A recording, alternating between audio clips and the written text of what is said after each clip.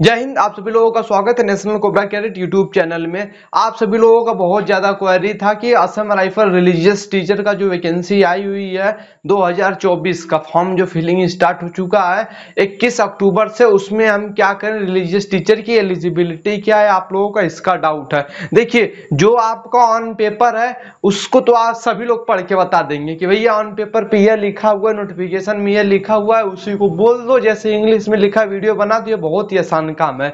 लेकिन तो जो प्रैक्टिकल है ऑन ग्राउंड क्या हो रहा है, उसके बारे में बात करना बहुत ही ज़रूरी है। और उसके बारे में अगर ऐसे आकर के मुँह उठा करके कैमरे के सामने खड़ा होकर के यूट्यूब पे अपलोड कर दो कि वीडियो चलेगा तो इससे कोई मुझे मतलब नहीं लगता है। तो इस वीडियो में मैं जा रहा हूँ रिलीजियस टीचर के बारे में बात करने के लिए। कमेंट आ रहा है कि भैया बताइए, इसके बारे में मेरा तबियत भी खराब है।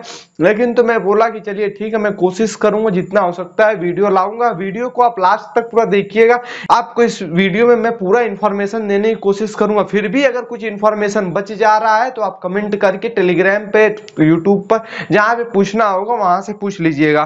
तो आपका जो है कि वैकेंसी बहुत ज़्यादा नहीं आई है चार पाँच वैकेंसी आई हुई है। रिलीजियस टीचर की रिगार्डिंग और ओवरऑल हम देखें तो 161 के अप्रोक्स वैकेंसी आई हुई है। रिलीजियस टीचर का जो आपका देखा जाए तो बिहार का है, मणिपुर का, राजस्थान यूपी सब स्टेट में, दो चार पाँच स्टेट में आया हुआ है वैकेंसी तो रिलीजियस टीचर का अगर आप देखेंगे, सबसे पहले मैं नोटिफिकेशन में आपको लेकर के चलता हूँ। नोटिफिकेशन में आइए। और रिलीजियस टीचर वाले पे आइए ट्रेड देखिए रिलीजियस टीचर रैंक क्या है आपका नायब सूबेदार? और एक गलती में मुझसे हो गई थी, मैं उसको यहीं पे करेक्ट कर देना चाहता हूँ कि ब्रिज एंड रोड वाला जो ट्रेड था, उस पर मैं रैंक बोल दिया था वारंट ऑफिसर मेरे दिमाग में चल रहा था पर्सनल असिस्टेंट का बोल दिया रैंक वारंट ऑफिसर तो उसको उसको आप करेक्ट कर लीजिएगा। वैसे मैं कमेंट में जो लोग बोल रहे थे, मैं उनको बता दिया गलती से हो गया था।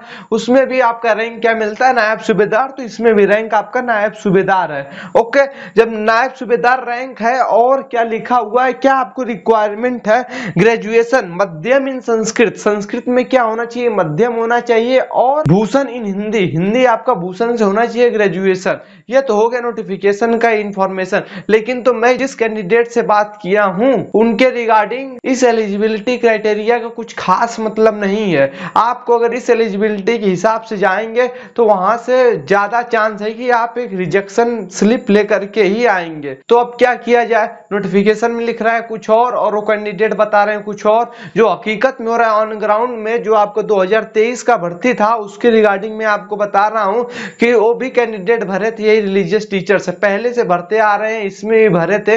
वो बिहार के हैं। बिहार के हैं और भरे थे रिलीजियस टीचर से। तो वहाँ पर जाने के बाद वो भी दिखाएँ कि, सर, मेरा यही ग्रेजुएशन से हुआ है, इसी से। हाँ यह भी बहुत लोग पूछ रहे हैं, भैया, मेरा हिंदी ऑनर से ग्रेजुएशन है तो क्या मैं जा सकता हूँ? बिल्कुल आप भर के बिल्कुल जा सकते हैं और दिखाएँगे कि सर मेरा ग्रेजुएशन है। उससे अगर आपका भूषण से नहीं है, मध्यम से नहीं है संस्कृत में तो आपका तब भी एक्सेप्ट करेंगे। लेकिन तो आपको ट्रेड टेस्ट में फेल कर देंगे। ट्रेड टेस्ट में ऐसा ऐसा क्वेश्चन पूछेंगे कि आप बता ही नहीं पाएँगे। अब पूछ, अब आपके दिमाग में अभी यहाँ पे आएगा कि भैया कैसा कैसा क्वेश्चन पूछ देंगे। वो पूछ रहे थे, जैसे कि यज्ञो पवित्र होता है ना, यज्ञो पवित्र को धारण करते समय किस मंत्र का जाप किया जाता है? कौन सा मंत्र पढ़ के यज्ञो पवित्र धारण किया जाता है। चंदन तिलक क्यों लगाया जाता है? तिलक का कितने प्रकार होते हैं? नाक पर यहाँ पे जो लगाते हैं उसको क्या नाम देते हैं? और शरीर पे लगाते हैं, हर एक जगह जहाँ जहाँ पे लगाते हैं तो वो क्या होता है? वो कैसे होता है? इन सब के बारे में टेक्निकली पूछ रहे थे और मंत्र का पूछ रहे थे। और इसी, इस इस टाइप का क्वेश्चन पूछ रहे थे, जो कि बताना मुश्किल हो जा रहा था। ठीक है? तो ये तो चलिए, ट्रेड टेस्ट में यहाँ पे ये बता देंगे फेल कर देंगे। और यहाँ पे मैं आपसे पहले ही बता दे रहा हूँ, जो भी मैं इंफॉर्मेशन दे रहा हूँ, अगर आप अपने आप को कंफ्यूज करेंगे तो ये आपकी ज़िम्मेदारी होगी। मेरा कोई ज़िम्मेदारी नहीं होगा, क्योंकि अभी यूट्यूब पे इस समय चल रहा है कि कोई इन्फॉर्मेशन कुछ दे दे रहा है, कोई इन्फॉर्मेशन कुछ दे दे रहा है। तो यहाँ पे आपको अपने विवेक का, अपने बुद्धि का खुद प्रयोग करना होगा। मैं किस तरह से सही सही इंफॉर्मेशन लेकर के आ रहा हूँ, मुझे ही पता है। तो आप देखिए, मैं आपके सामने इंफॉर्मेशन पूरा रख दे रहा हूँ नोटिफिकेशन के हिसाब से और वहाँ के ग्राउंड पर क्या रहा उसके हिसाब से। बाकी तय आपको खुद करना होगा कि आपको जाना है कि नहीं जाना है। अब आप बोलोगे कि जाए रिजेक्ट होकर के आ जाए। भैया नहीं जाओगे तो फिर भी रिजेक्ट हो, चले जाओगे तो प्रोबेबिलिटी बन जाएगी। तो ये अब आपके हाथ में है, अब जाने पैसा लगता है। भैया देखो, पैसा लगता है। अगर नहीं पैसा, बहुत कम पैसा है तो जनरल में जाओ। हम भी जनरल में ही जाते हैं बैठ के। दो, ढाई दिन लगते हैं जाने में, आने में। हम भी आप ही वाले कैटेगरी में हैं।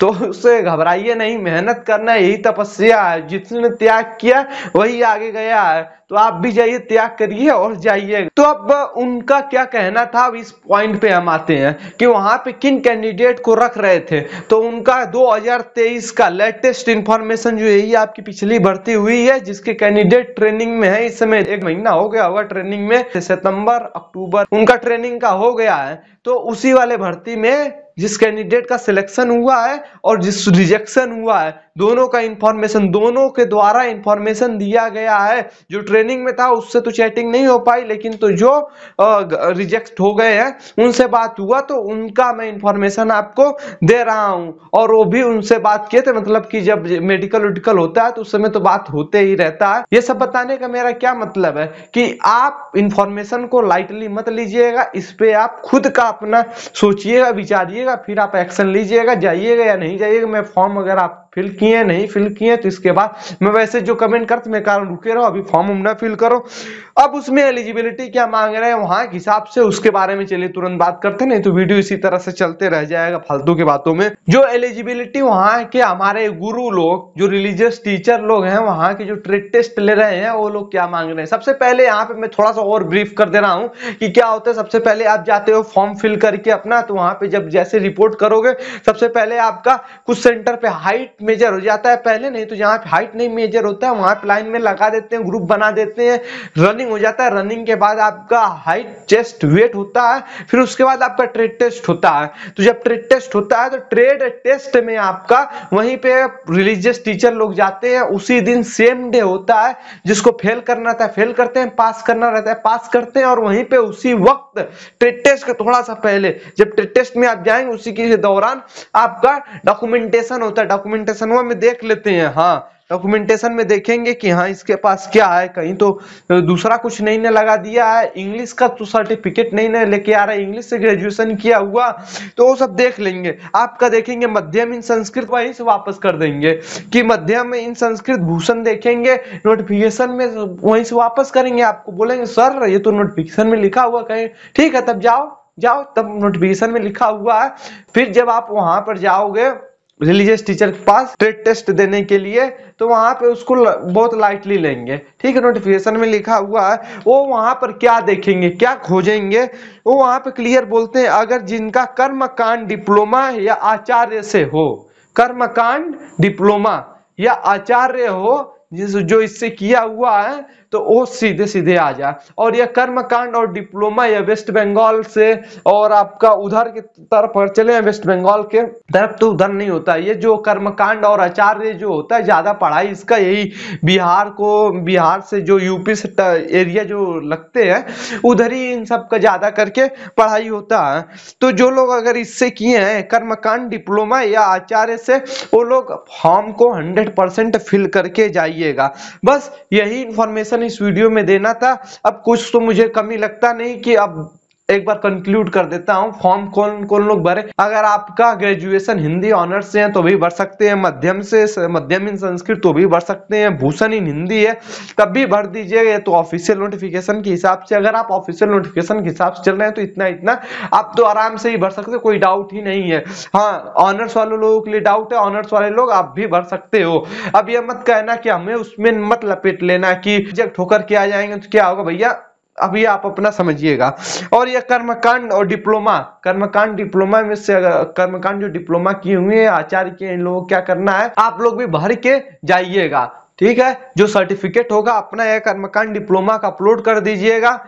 और जाइएगा, देख करके आइएगा। मेरे पास यह मतलब कमेंट करिएगा तो नोटिफिकेशन में नहीं लिखा है। मुझे भी पता है नोटिफिकेशन में नहीं लिखा है। लेकिन तो ऑन ग्राउंड क्या हो रहा है, मैं उसको बता रहा हूँ। तो इसलिए आप एक बार ट्राई करिएगा, जाइएगा, करके, देखो, करके आइएगा। दो चीज़ हो गया तो रिजेक्ट हो जाएँगे तो सिलेक्ट हो जाएँगे। अब वीडियो को मैं ज़्यादा लंबा नहीं करता हूँ, यहीं पे वीडियो को एंड करता मिलता हूँ इसी के साथ आपसे नेक्स्ट वीडियो में। सो फॉर जय हिंद, जय भारत, वंदे मातरम। इनकलाब जिंदाबाद, भारत माता की जय।